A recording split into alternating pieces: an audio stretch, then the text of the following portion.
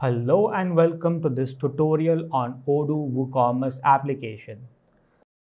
In this video, I'm going to show you how to update the image from Odoo to WooCommerce.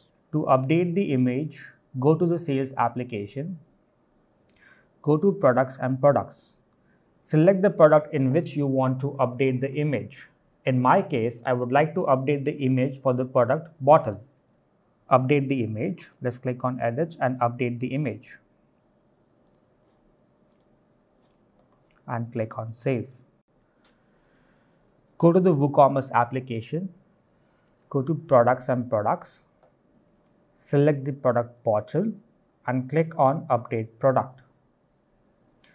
This time you would only like to update the image from my WooCommerce application to my WooCommerce store. So select update image and publish it in your website and click on update product.